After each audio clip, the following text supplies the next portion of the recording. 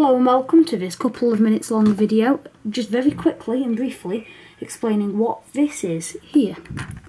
This kit I got from icstation.com.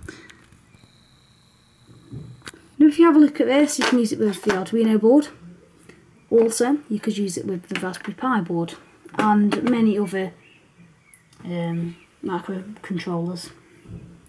You can pick this up from icstation.com and I'll show you the listing now and I will leave a link, uh, description link in the description if you have a look at this.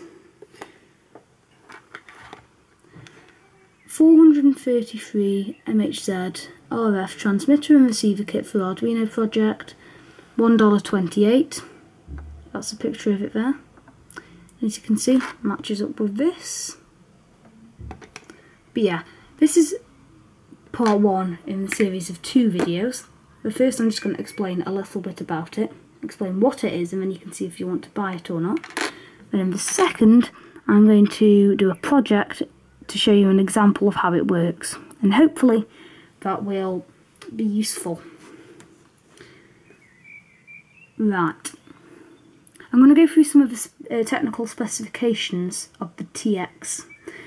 The product model is the MX-05V the operating voltage is 5 volts. The receiving frequency is 433.92 MHz. The sensitivity is minus 105 dB.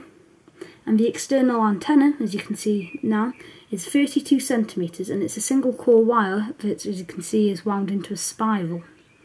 Now we're looking at the transmitter head. It's called the MX-FS-03V the launch distance is 20 to 200 metres and if you use a different voltage you are going to get slightly different results.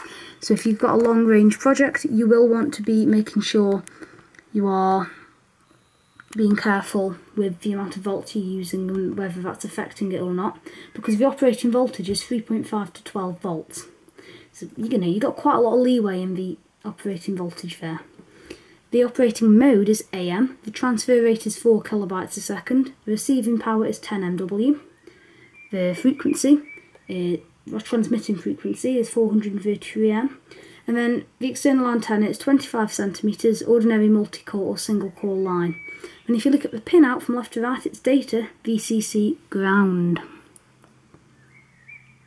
Now let's just, I'm just going to very quickly explain the types of things you could use this for.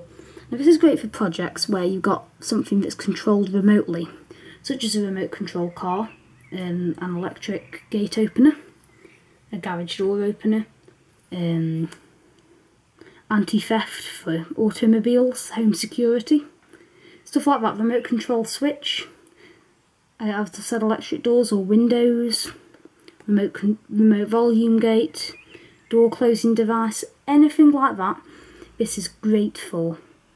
Next video I'm going to be explaining a little bit more about this and doing a project. Thanks for watching.